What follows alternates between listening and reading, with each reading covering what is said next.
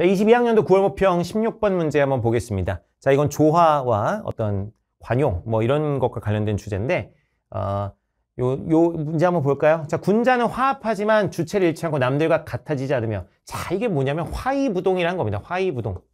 응? 우리 공자 아저씨가 얘기한 공자 선생님이 얘기한 화이부동. 화이부동이 뭐예요? 같지는 않아도 조화로울 수 있다. 조화로우나 같지는 않다. 이렇게 얘기하는 거예요. 네, 군자는 그렇다. 하지만 소위는 주체를 잃어버리고 남들과 같아지면 화합하지 않는다. 군자는 두루 포용한다. 파벌을 이루지 않으며 소위는 파벌을 이루고 포용하지 않는다. 자, 공자의 무슨 사상? 화이부동.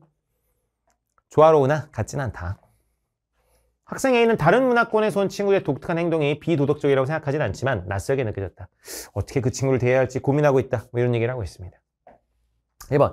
그 친구가 우리나라 문화에 동화되도록 어, 설득해 보세요. 뭐 괜찮지 않나요? 공자가 공자 선생님이 아 저, 죄송합니다. 다시 다시 얘기할게요. 자, 우리 그 친구가 우리나라 문화에 동화되도록 설득 동화 동화돼야 된다는 것은 그 친구 보고 우리나라 문화를 받아들여 이렇게 이제 이야기하는 건데 지금 동화되도록 설득하자는 얘기는 아니죠. 그 친구의 어떤 다름을 인정하지만 조화로울 수 있게 해야 된다 이겁니다. 다름을 인정하지만 조화로울 수 있어야 된다는 것이지 동화되도록 설득하는 건 아니고 2번 그 친구의 문화를 이해하는 태도로 조화롭게 지내보자. 아 그냥 너무 좋은 말이잖아. 그지?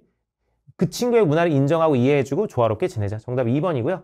3번 친하게 지낼 수 지낼 경우 얻게 된 이익을 계산해서 행동하세요. 무슨 공자 선생님이 이익 계산하라고 얘기하겠어요.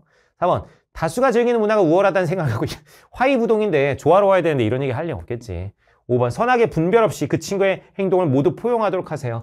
여러분 공자 선생님 유교죠 유교? 유교는 뭐야? 12선악 분별하는 거예요. 12선악 분별. 12선악을 뭐 하는 거야? 분별하는 거야. 조화롭기는 해야 되지만 12선악이 아예 없다고 이렇게 판단하는 것은 아닙니다. 그래서 선악의 분별, 분별 없으면 안 돼요. 12선악 분별해야 되는 거죠. 정답은 2번이 되겠습니다.